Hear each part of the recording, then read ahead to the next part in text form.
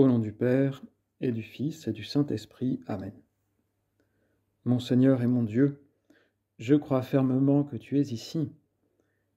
Je t'adore avec profonde révérence. Je te demande le pardon de mes péchés pour bien faire ce moment de prière. Marie, Saint Joseph et mon ange gardien, intercédez pour moi. Il y a encore peu de temps, nous avons médité le très beau mystère de l'incarnation du Verbe, du Fils de Dieu. Et nous avons été témoins de la surprise des gens, venus voir le Sauveur et le Roi. Les bergers hein, venaient voir un Sauveur qui est le Christ, le Seigneur, d'après l'ange. Les mages venaient voir le roi des Juifs qui vient de naître. Et les uns comme les autres ont trouvé euh, un enfant comme les autres, qui dormait, qui n'avait rien de particulier, qui n'était pas né dans une famille royale, dont le père et la mère n'étaient ni roi ni reine, quoique Marie mérite le titre de reine et qu'elle est vraiment sa mère. Mais bon, rien d'apparent. Et l'humanité n'a pas fini de s'étonner du mystère de l'incarnation. Et nous-mêmes, nous avons à accepter la vie de tous les jours, la vie que le Christ aussi a vécue, la vie ordinaire, qu'on appelle chez Jésus la vie cachée. C'est peut-être pas un excellent terme parce que Jésus s'est pas caché, il n'a pas fui la société, il n'a pas été comme Jean-Baptiste qui est allé au désert. Jésus a vécu là où il est né, enfin, là où se sont installés ses parents à Nazareth mais comme une personne de plus. Et c'est très étonnant que pendant 30 ans, Dieu habite sur la terre et personne ne s'en aperçoit. On n'en entend pas parler. 30 ans, c'est long. Hein euh, Peut-être tu n'as pas 30 ans. Ou ceux qui avons 30 ans, nous voyons ce que ça représente. Quelle patience de Dieu. Mais quel message aussi c'est pas de la patience comme s'il avait fallu attendre un temps obligatoire. Non, Dieu donne sens à tout. Dieu ne fait rien qui n'ait pas de sens. Dans ces 30 ans, il y a un message. Il est que la vie habituelle, la vie ordinaire n'est pas méprisable. Qu'elle est aimable. Qu'il serait dommage de passer notre temps à attendre autre chose. Ce serait dommage de passer l'année à attendre les vacances de passer la semaine à attendre le week-end, de passer la journée à attendre le film, de passer euh, une heure de cours à attendre la prochaine distraction. Parce que là, Seigneur, si je fais ça, je suis pas dans le présent, je suis pas dans ma vie. Encore pire si j'ai des pensées mélancoliques. Ah si, si j'avais eu plus de chance dans la vie, si j'étais né ailleurs, autrement, si j'avais fait d'autres choix. Saint José Maria disait bah, si j'étais marié ou si j'étais pas marié. Aimons la vie telle qu'elle est. Ne faisons pas comme le héron de la fable de La Fontaine.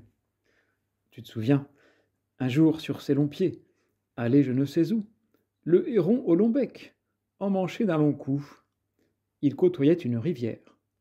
L'onde était transparente, ainsi qu'au plus beau jour. Tout était propice à pêche. Et le héron a tout ce qu'il faut pour pêcher. Ses grandes pattes, son bec allongé en forme de poignard. Ma commère la carpe y faisait mille tours dans l'eau. Avec le brochet, son compère, le héron en eut fait aisément son profit. Tout s'approchait du bord. L'oiseau n'avait qu'à prendre. Mais il crut mieux d'attendre, qu'il eut un peu plus d'appétit. Il vivait de régime et mangeait à ses heures. ce héron ne euh, veut pas bousculer ses habitudes. Après quelques moments, l'appétit vint. L'oiseau, s'approchant du bord, vit sur l'eau des tanches qui sortaient du fond de ses demeures. Le mets ne lui plut pas, il s'attendait à mieux, et montrait un goût dédaigneux, comme le rat du bon Horace. Moi des tanches, dit-il, moi héron, que je fasse une si pauvre chair. Et pour qui me prend-on? La tanche rebutée, il trouva du goujon. Du goujon? C'est bien là le dîner d'un héron. J'ouvrirai pour si peu le bec, au Dieu ne plaise. Il l'ouvrit pour bien moins, conclut la fable.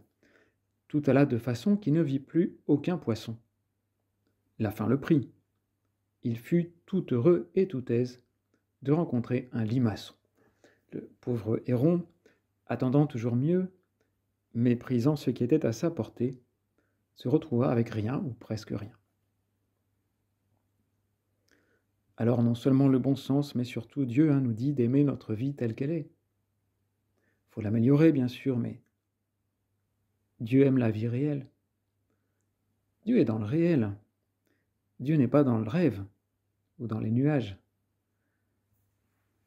Euh, Saint José Maria considérait la fuite du réel comme une tentation. Il disait, euh, il l'a dit en grand public, hein, toute forme d'évasion hors des honnêtes réalités quotidiennes. Et pour vous, hommes et femmes de ce monde, à l'opposé de la volonté de Dieu. Et pourtant, reconnaissons-le, cette tentation survient facilement. Parce que on se tourne vite vers la distraction, et le repos, ce sont des bonnes choses, mais il faut aussi aimer le tous les jours, le travail, le, devoir. Sinon, on n'est pas heureux. Sinon, on est, à, côté de sa vie. Saint José Maria disait euh, avec profondeur hein, que il avait clairement compris que Dieu désire que les chrétiens prennent pour exemple la vie du Seigneur tout entière, pas seulement la fin. J'ai compris, dit-il, tout spécialement sa vie cachée, sa vie de travail courant au milieu des hommes. Toi, Seigneur Jésus, tu as vécu 30 euh, ans avec du sens et surtout avec de l'amour. Agir par amour, c'est là le secret. Il y a presque toujours moyen d'agir par amour des autres. Parfois c'est évident, hein, il y a des métiers de service, il y a le travail de, la maison, euh, pour sa famille, qui, qui se fait par amour. Enfin, si l'on veut, ce sont des personnes à qui je facilite la vie, des personnes qui seront sensibles à une marque d'attention, à une marque de respect. Il y a aussi des activités ou des métiers un peu plus loin des gens. Il y a beaucoup de gens qui passent la journée sur un, ordinateur, sur un écran.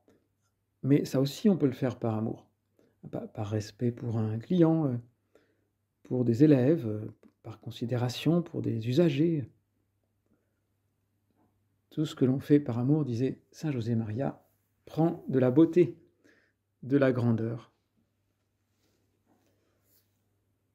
Alors oui, Jésus, aide-moi à voir que je euh, j'ai pas forcément à attendre autre chose.